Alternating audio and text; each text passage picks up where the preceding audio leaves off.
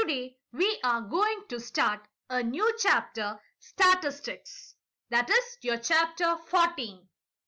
Let's see what is the first topic in this chapter.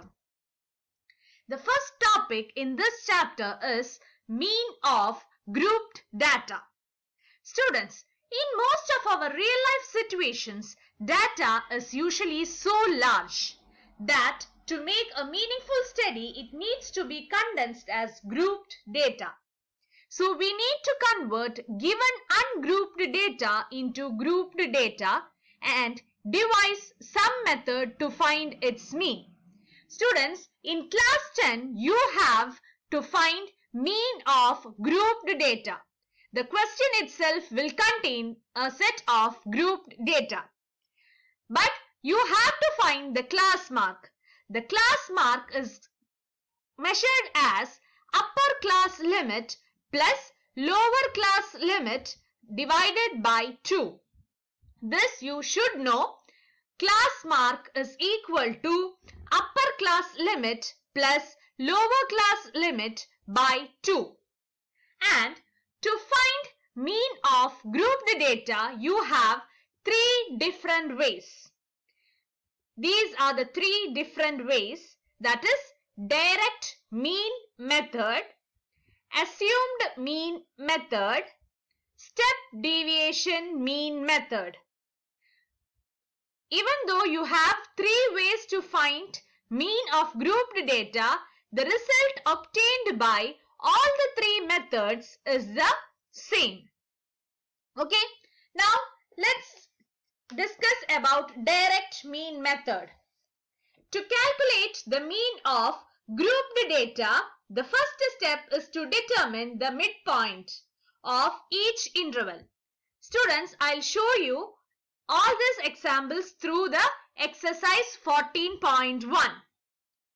Okay, these midpoints must then be multiplied by the frequencies of the corresponding classes. Now, what about assumed mean and step deviation mean method? If the given data is large, then these two methods can be chosen. Okay, assume mean method and step deviation method. Direct mean method is used when the data given to you is small. So, you should know how to choose the method to find the grouped data. The choice of the method to be used depends on the numerical values of xi and fi. xi is the class marks and fi is the frequencies. Okay, if xi and fi are sufficiently small, then the direct mean method is used. If xi and fi are numerically large, then we go for the assumed mean method or step deviation method. So how will you choose assumed mean method or step deviation method? The step deviation method will be convenient to apply if all the di's that is deviations have a common factor. Now let's go and see what are the examples given in your textbook. Exercise 14.1 First question. A survey was conducted by a group of students as a part of their environment awareness program in which they collected the following data regarding the number of plants in 20 houses in a locality. Find the mean number of plants per house. Which method did you use for finding the mean and why? If you have to answer this question, that is which method did you use for finding the mean, you should go through the data first. Here let's go through the data. Number of plants 0 to 2, 2 to 4, 4 to 6, 6 to 8, 8 to 10, 10 to 12 and 12 to 14. Here frequencies are 1, 2, 1, 5, 6, 2, 3. These are extremely small numbers, isn't it? So, the method that you are going to use is direct mean method.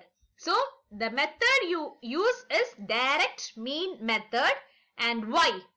The data given to you is sufficiently small. Let's see the steps first. This is the table that you are going to draw for direct method. Direct mean method. This is the number of plants. Now class mark. Do you remember the formula for class mark? Upper limit plus lower limit divided by 2. Upper limit plus lower limit divided by 2. 2 plus 0, 2. 2 by 2, 1. 4 plus 2, 6. 6 divided by 2, 3. So on, you will get the class marks. And that is xi. Now what is fi? That is the frequency of the houses which is given here. Now, just see xi and fi. They are extremely small, isn't it? So, you will multiply fi and xi. fi and xi. 1 into 1, 1. 3 into 2, 6. 5 into 1, 5. 7 into 5, 35. 9 into 6, 54. 11 into 2, 22. 13 into 3, 39. Now how will you get the mean? The mean you obtain by dividing the sum of these digits by sum of these frequencies. This is the symbol for summation. Summation that is you are adding this 1 plus 6 plus 5 plus 35 plus 54 plus 22 plus 39. Answer is 162.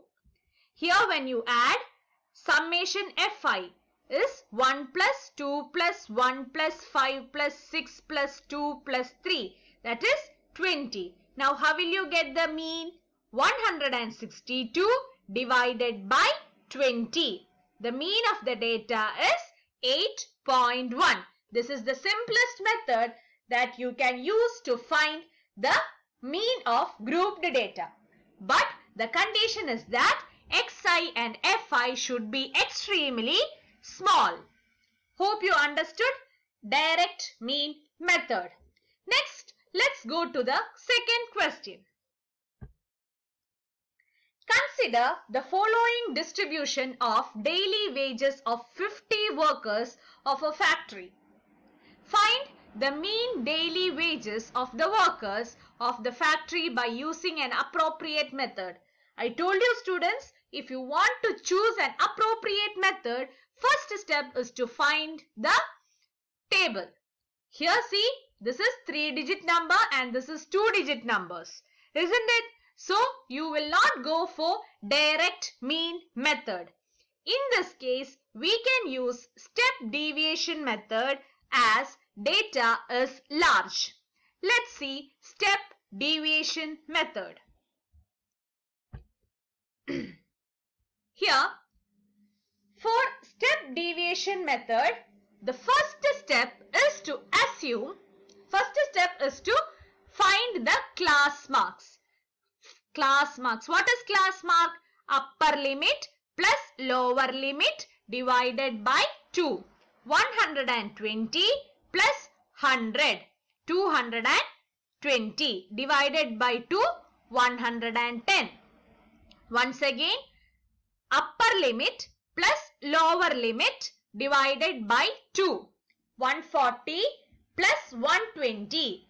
260. 260 divided by 2. 130. So now you have class marks. Okay. Among this class marks, you are going to take the middle point as assumed mean. What is that? Assumed mean.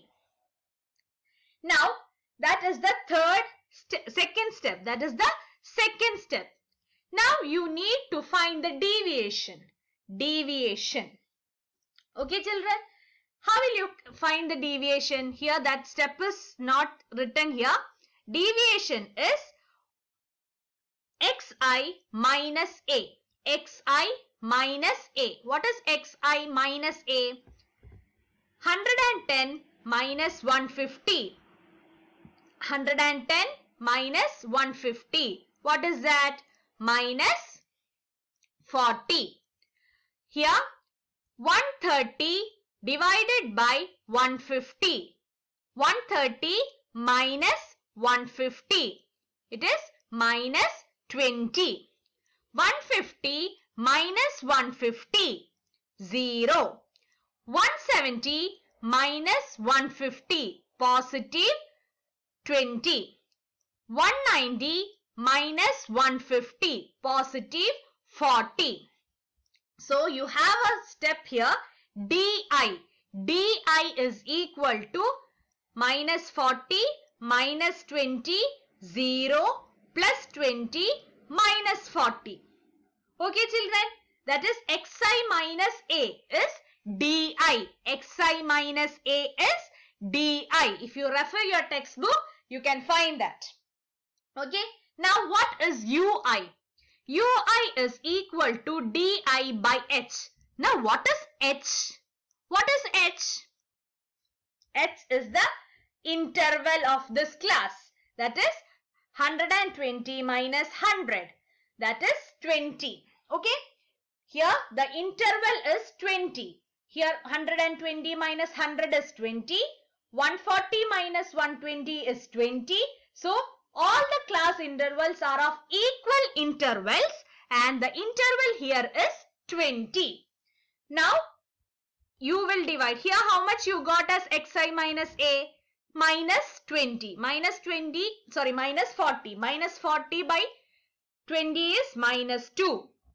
Here it was minus 20. Minus 20 by 20 minus 1. 0 by 20 0. 20 by 20 1. 190 that is 40. 40 by 20 2. Now what are the multiplication process? Multiplication process is here 12 into minus 2 minus 24. 14 into minus 1 minus 14. Now how will you calculate the mean? Mean is a plus h into summation of fi ui by summation of fi. Now, how will you get summation of FIUI? You should add all these terms, including their sign. Including their sign. Okay. Here minus 24 plus minus 14 plus 0 plus 6 plus 20. So, you will get the answer as minus 12. And what is summation of Fi? The sum of frequencies. Here it is 50. So what will you get? Minus 12 divided by 50. Now what is H? You know what is H? It is the interval of each class. H is the interval of each class. Now what is A? A is the assumed mean. Here you took A as 150. A as 150. So what is the formula for mean? A plus H into summation of FIUI by summation of FI. So students, now we have gone through direct mean method and step deviation method. In direct mean method, you have to find the class marks and then multiply it with frequencies. In step deviation method, you have to find xi that is class marks, di deviation and ui then calculate the mean. You have three steps there. But in assumed mean method, two steps. So, one step in direct mean method, two steps in assumed mean method and three steps in de step deviation method. Let's see the next question.